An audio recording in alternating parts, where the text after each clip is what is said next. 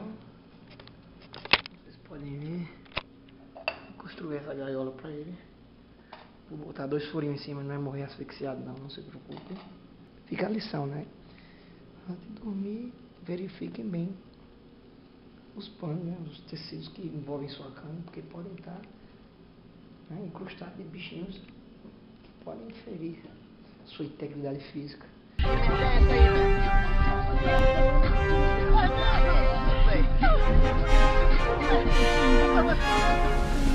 Xavier?